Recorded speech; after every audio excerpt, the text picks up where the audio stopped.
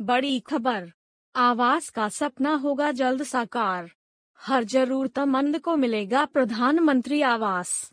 आपसे निवेदन है वीडियो को लाइक करें और चैनल को सब्सक्राइब ताकि इस तरह की न्यूज़ आपको मिलती रहे। प्रधानमंत्री आवास योजना के तहत उत्तर प्रदेश के 8 लाख से अधिक गरीबों को बड़ा उपहार देने जा रही योगी सरकार। सच होगा अपने घर का सपना।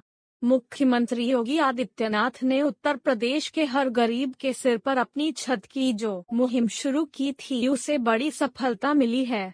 प्रधानमंत्री आवास योजना ग्रामीण के तहत केंद्र सरकार से सीएम योगी ने 8 लाख से अधिक घरों की मांग की थी, जिसे मंगलवार को केंद्रीय ग्रामीण विकास मंत्रालय ने मंजूरी दे दी है। इन आवासों के निर्माण के लिए दस हज़ार करोड़ रुपए की धनराशि स्वीकृत मिली है। बता दें कि उत्तर प्रदेश में अब तक प्रधानमंत्री आवास योजना ग्रामीण के तहत 27 लाख आवास बनाए जा चुके हैं।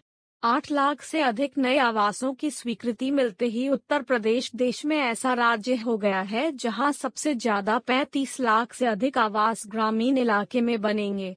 उत्तर प्रदेश के हर गरीब का अपना घर हो इसके लिए सीएम योगी आदित्यनाथ बेहद गंभीर हैं। यह चिंता समय समय पर उनके संबोधन में झलकती भी है।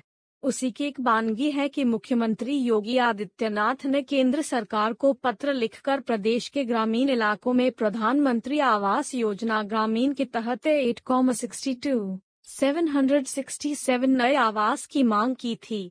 सीएम योगी आदित्यनाथ का यह प्रयास रंग लाया और केंद्र सरकार के ग्रामीण विकास मंत्रालय ने उनकी मांग पर मुहर लगाते हुए eight com sixty two seven hundred sixty seven नए आवास को स्वीकृत करते हुए दस हज़ार करोड़ की धनराशि जारी कर दी है। सभी आवास मार्च 2024 तक बनकर तैयार हो जाएँगे।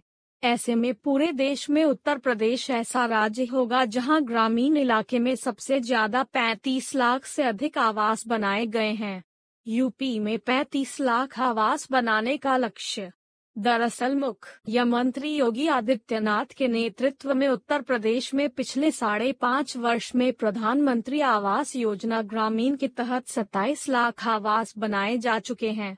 इनमें से 26 लाख आवास लाभार्थियों को सौंपे भी जा चुके हैं, शेष पर कार्य चल रहा है। पूरे देश में कुल 2.95 करोड़ प्रधानमंत्री ग्रामीण आवास का लक्ष्य रखा गया है, जिसमें अकेले यूपी में 35 लाख आवास बनेंगे।